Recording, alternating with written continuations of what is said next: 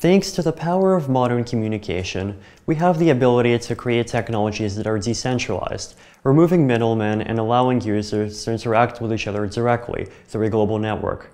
Decentralized applications have been becoming more and more important in the past 10 years and have the benefits of massively reducing costs and barriers to entry, removing single points of failure, preventing censorship, and ensuring transparency and trust between all the parties involved in an interaction.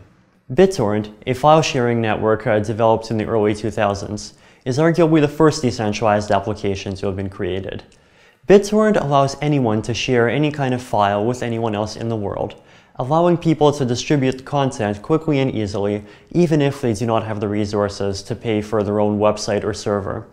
Five years later, Satoshi Nakamoto came up with the idea of a blockchain, a sort of distributed database, and used it to build Bitcoin, the world's first decentralized currency.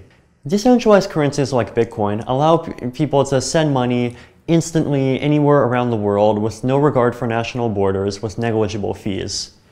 Bitcoin is increasingly being used for international remittances, micropayments, and commerce online. Uh, decentralized applications for finance, uh, cloud computing, mes messaging, and distributed governance are soon to come. Ethereum is a platform that is specifically designed for people to build these kinds of decentralized applications, or dApps for short.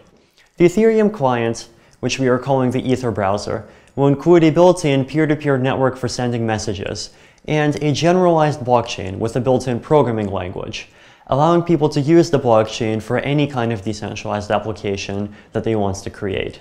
Ethereum can be used to build financial applications that are fully trustworthy and transparent because they run on the blockchain. Online, cryptographically secure systems for managing your property and contracts.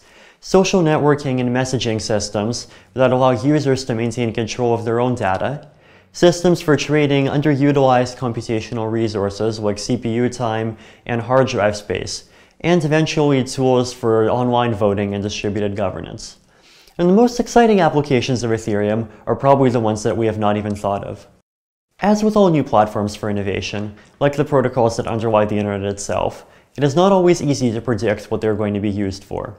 Gmail, Facebook, Twitter, Instagram, and the modern internet as a whole are all a result of uh, early developments in the World Wide Web and JavaScript, the programming language of the World Wide Web, from the 1990s.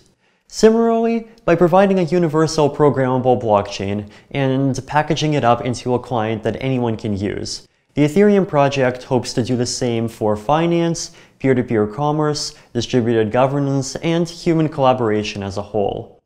Now the question is, what will you build on top of Ethereum?